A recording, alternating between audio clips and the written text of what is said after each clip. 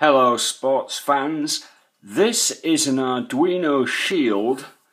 Uh, it's the Open Theremin Uno. Um, and it's just turned up in the post today. I have several things I've got to do to it before I can actually play it. The first thing is um, to fasten it, uh, these uh, header pins in so it'll fasten onto a shield. I am not going to go through the embarrassing process of allowing you to see my crappy soldering so after I've soldered all, them all in I'll be back. That's all the header pins fitted. Some of them are even straight. I must admit my soldering technique has improved greatly over the last year that I've been doing it.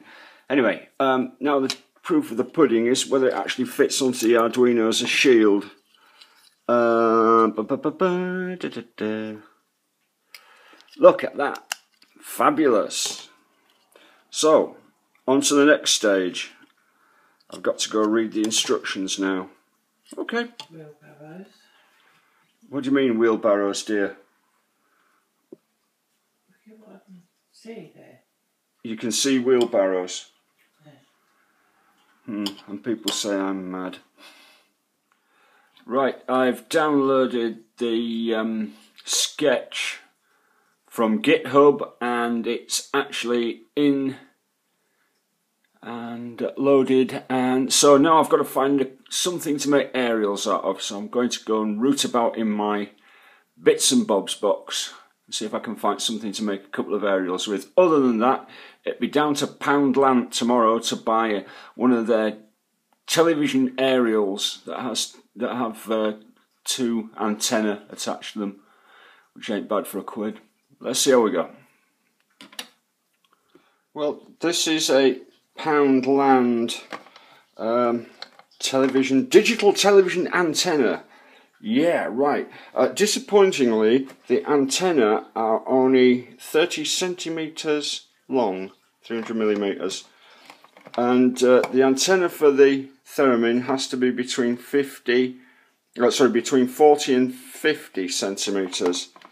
But I can make something out of this, else out of this, um, a la uh, Big Clive's um, ghost detector. I'll give that a go later. The good news is that I actually found the copper wire.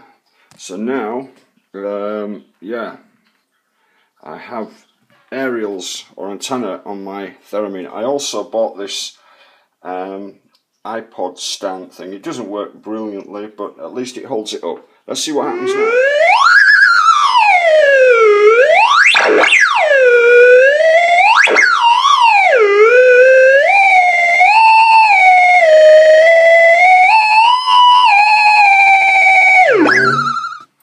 Right, obviously I'm not going to be able to demonstrate this while I'm holding the iPod, but I've got the volume antenna more or less.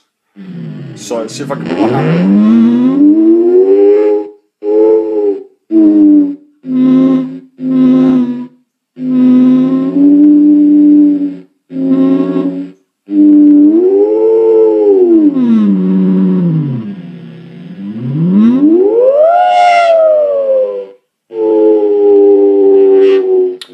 Have to do some more calibration work on it, but I think that's more or less working now.